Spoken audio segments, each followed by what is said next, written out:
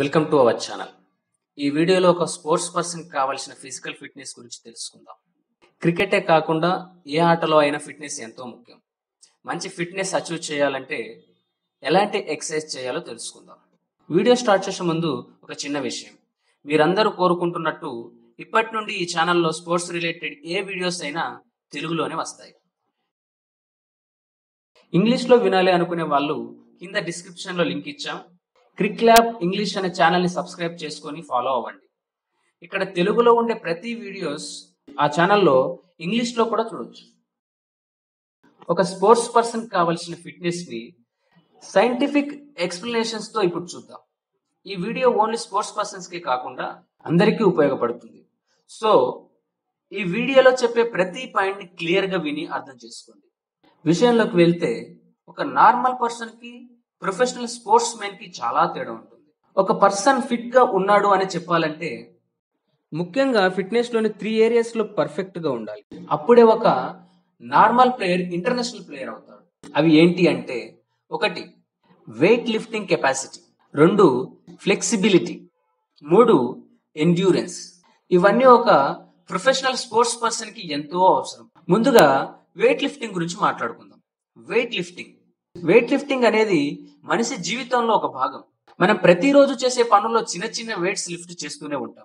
కానీ ప్రొఫెషనల్ స్పోర్ట్స్లో ఉండే పర్సన్స్తో కంపేర్ చేసుకుంటే ఒక normal person weight lifting capacity చాలా తక్కువగా ఉంటుంది.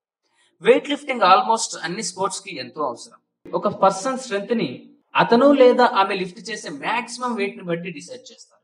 వెయిట్ లిఫ్టింగ్ వెనకాల సైన్స్ గురించి తెలుసుకుందాం. ముందుగా మజిల్స్ గురించి తెలుసుకుందాం. మజిల్ లోపల ఉండే చిన్న చిన్న మజిల్ ఫైబర్స్ కలిసి ఒక మజిల్ని క్రియేట్ చేస్తాయి. జనరల్గా ఏదైనా వెయిట్ లిఫ్ట్ చేయాలి అంటే మన బ్రెయిన్ బాడీలో ఉన్న మజిల్స్కి సిగ్నల్స్ పంపిస్తుంది. దానితో ఆ పర్టికులర్ ఏరియాలోని మజిల్స్లో ఉండే చిన్న చిన్న మజిల్స్ ఫైబర్స్ యాక్టివ్ అయ్యి వెయిట్ లిఫ్ట్ చేయడంలో హెల్ప్ చేస్తాయి. వెయిట్ లిఫ్టింగ్ కెపాసిటీ అనేది రెండు విషయాలపైన ఆధారపడి ఉంటుంది. ఒకటి ఒక పర్టికులర్ టాస్క్ని పర్ఫామ్ చేసే ముందు మన బాడీ ఎన్ని మజిల్ ఫైబర్స్ రిక్రూట్ చేసుకుంటుంది? రెండు మన మజిల్స్లో ఉండే మజిల్ ఫైబర్స్ ఎంత ఎక్కువ ఫోర్స్ని తట్టుకున్నాయి అనే విషయాలపైన స్ట్రెంగ్త్ అనేది డిపెండ్ అవుతుంది.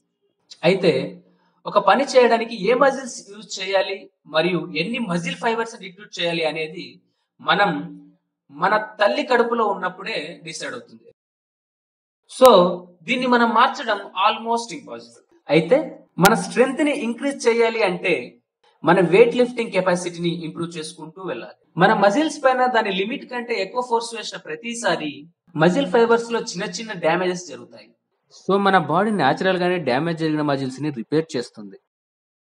రిపేర్ చేసిన ప్రతిసారి మన బాడీ మజిల్ని ఇంకా స్ట్రాంగ్గా మరియు దాని సైజ్ని కూడా ఇంక్రీజ్ చేస్తుంది. దీంతో మన మజిల్స్కి సైజ్ మరియు స్ట్రెంగ్త్ వస్తుంది. ఇక్కడ ఇంకో విషయం గుర్తుపెట్టుకోవాలి. ఎక్కువగా వెయిట్ లిఫ్ట్ చేయడం వల్ల బాడీలోని ఫ్లెక్సిబిలిటీ మిస్ అవుతుంది. సో డిఫరెంట్ స్పోర్ట్స్కి డిఫరెంట్ ఎక్సర్సైజ్ ప్రోగ్రామ్స్ ఉంటాయి. ఫాస్ట్ బౌలింగ్ ఎక్సర్సైజెస్ కావాలనుకునే వాళ్ళు మన ఛానల్ యూట్యూబ్ మెంబర్షిప్లో జాయిన్ అవ్వచ్చు. ఇకపోతే నెక్స్ట్ టాపిక్ ఫ్లెక్సిబిలిటీ. ఫ్లెక్సిబిలిటీ అంటే బాడీ డిఫరెంట్ డైరెక్షన్స్లో ఈజీగా బెండ్ అవ్వడం. స్ట్రెచ్చింగ్ ఎక్సర్సైజ్తో ఫ్లెక్సిబిలిటీని అచీవ్ చేయొచ్చు. అదే విధంగా స్విమ్మింగ్ కూడా బాడీలో ఉండే జాయింట్స్ని ఈజీగా మూవ్ అయ్యే విధంగా సహాయం చేస్తుంది. ఫాస్ట్ బౌలింగ్లో అయితే ఫ్లెక్సిబిలిటీ చాలా కీ రోల్ ప్లే చేస్తుంది. Hip to shoulder separation achieve చేయాలి అంటే ఫ్లెక్సిబిలిటీ తప్పనిసరి. జనరల్గా బాడీ ఎంత ఫ్లెక్సిబుల్గా ఉంటే బాడీ అంత ఈజీగా రొటేట్ అవుతుంది. జిమ్నాస్టిక్స్ మార్షల్ ఆర్ట్స్ లాంటి స్పోర్ట్స్లో ఫ్లెక్సిబిలిటీ ఎంతో అవసరం. ఇకపోతే నెక్స్ట్ టాపిక్ ఎండ్యూరెన్స్ ఎండ్యూరెన్స్ అంటే ఏదైనా పనిని ఎక్కువసేపు చేయగలగడం. దీనికి best example long distance running మనం ఏదైనా పనిని కంటిన్యూస్గా చేస్తూ ఉంటే ఇటు వెంటనే అలసిపోతాం. ఎందుకు ఇలా జరుగుతుంది అంటే మన బాడీలో ఉండే మజిల్స్ పైన నాన్ స్టాప్గా ఫోర్స్ పడుతూ ఉంటే మన బాడీ లాక్టిక్ యాసిడ్ అనే పదార్థాన్ని రిలీజ్ చేస్తుంది. ఈ లాక్టిక్ యాసిడ్ రిలీజ్ అయినప్పుడు మన మజిల్ ఇక పని చేయలేవు అప్పుడు మన బ్రెయిన్ బాడీకి ఆ పనిని చేయొద్దని సిగ్నల్ ఇస్తుంది. దీంతో మనం ఆ పనిని ఎక్కువసేపు కంటిన్యూగా చేయలేం. స్పోర్ట్స్ పర్సన్స్ కొన్ని సంవత్సరాలుగా ఇలాగే ట్రైనింగ్ చేయడం ద్వారా ఈ మజిల్స్లో జనరేట్ అయ్యే లాక్టిక్ యాసిడ్ని తట్టుకునే శక్తిని సంపాదిస్తారు. దీన్నే ఇంగ్లీష్లో లాక్టిక్ యాసిడ్ టాలరెన్స్ అంటారు. ఎండ్యూరెన్స్లో ఏరోబిక్ కెపాసిటీ చాలా పెద్ద కీ రోల్ ప్లే చేస్తుంది. ఏరోబిక్ కెపాసిటీ అంటే మన బాడీలోకి ఎక్కువ ఆక్సిజన్ని తీసుకోవడం. మనందరికీ తెలుసు ఆక్సిజన్ మనకి ఎంత ముఖ్యమో ఎంత ఎక్కువ ఆక్సిజన్ మన లంగ్స్ స్టోర్ చేసుకోగలిగితే అంత ఎక్కువసేపు మన బాడీ నాన్ స్టాప్గా పనిచేస్తుంది. ఫర్ ఎగ్జాంపుల్ ఒక క్రికెట్ మ్యాచ్ యాభై ఓవర్లు ఆడాలంటే చాలా స్టామినా కావాలి. ఫాస్ట్ బౌలర్స్కి అయితే ఏరోబిక్ కెపాసిటీ ఇంకా ఎక్కువ అవసరం. ఏరోబిక్ కెపాసిటీని ఇంక్రీజ్ చేయాలి అంటే రన్నింగ్ స్విమ్మింగ్ సైక్లింగ్ చాలా ఉపయోగపడతాయి. కొన్ని బ్రీతింగ్ ఎక్సర్సైజెస్ కూడా ఏరోబిక్ కెపాసిటీని ఇంక్రీజ్ చేస్తాయి. వాటి గురించి ఫ్యూచర్ వీడియోస్లో తెలుసుకుందాం. ఫిట్నెస్లో అన్నిటికంటే ఇంపార్టెంట్ టాపిక్ మనం తీసుకునే ఫుడ్. ఫుడ్లో మెయిన్గా ప్రోటీన్ కార్బోహైడ్రేట్స్ మరియు ఫ్యాట్స్ ఉంటాయి. ఒక పర్సన్ ఫిట్నెస్ని మెయింటైన్ చేయాలి అంటే ఇవన్నీ కరెక్ట్ మెజర్మెంట్స్లో ఉండాలి. మన ఇండియాలో ఎక్కువగా అన్నం తింటాం కాబట్టి రైస్ ద్వారా కార్బోహైడ్రేట్స్ ఎక్కువగా లభిస్తాయి. కార్బోహైడ్రేట్స్ మన బాడీ ఫస్ట్ ఎనర్జీ సోర్స్ ఇది మన బాడీలోకి వెళ్ళిన తర్వాత గ్లూకోజ్గా మారి మన మజిల్స్కి ఎనర్జీని ఇస్తాయి. కానీ ఇంతకుముందు చెప్పినట్టు ఎక్సర్సైజ్తో మన మజిల్స్లో చిన్న చిన్న డ్యామేజెస్ని రిపేర్ చేయడానికి మనకు ప్రోటీన్ అవసరం. ప్రోటీన్ మన బాడీ డెవలప్మెంట్కి ఎంతో అవసరం.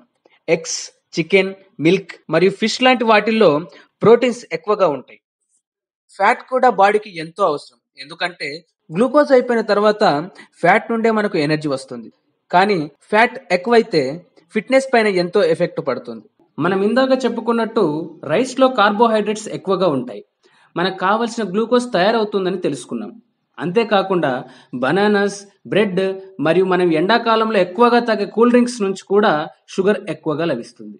స్పోర్ట్స్ పర్సన్ షుగర్ ఎక్కువగా ఉన్న పదార్థాలని తీసుకోకూడదు. ఎందుకంటే మన బాడీలో ఉండే లివర్ ఒక లెవెల్ వరకు మాత్రమే కార్బోహైడ్రేట్స్ని షుగర్గా మారుస్తుంది. ఎక్కువైన కార్బోహైడ్రేట్స్ని బాడీ ఫ్యాట్ లాగా మార్చుకుంటుంది. సో ఫ్యాట్ని డైరెక్ట్గా తీసుకోకపోయినా కార్బోహైడ్రేట్స్ని ఎక్కువగా తీసుకున్నా మనం తొందరగా లావ్ అయిపోతాం. కాబట్టి బాడీకి కావలసిన ఫుడ్ని లిమిట్లోనే తీసుకోవాలి. ఏది ఎక్కువైనా మన బాడీ పైన నెగిటివ్ ఇంపాక్ట్ చూపించి ఫిట్నెస్ని దెబ్బతీస్తుంది. ఇక ఎక్సర్సైజ్ విషయానికి వస్తే ప్రతిరోజు పదిహేను నిమిషాలు రన్నింగ్ నలభై ఐదు నిమిషాల నుంచి ఒక గంట వరకు వెయిట్ లిఫ్టింగ్ ఎక్సర్సైజ్ చేయడంతో మన బాడీని ఫిట్గా ఉంచుకోవచ్చు. స్లో మరియు fast running swimming squats dead lifts లాంటి ఎక్సర్సైజ్తో మన బాడీ ప్రొఫెషనల్ స్పోర్ట్స్ మెన్ లాగా తయారు చేసుకోగలుగుతాం. ఈ వీడియో మీకు నచ్చితే లైక్ చేయండి. మరిన్ని స్పోర్ట్స్ రిలేటెడ్ వీడియోస్ కోసం ఛానల్ని సబ్స్క్రైబ్ చేసుకోండి.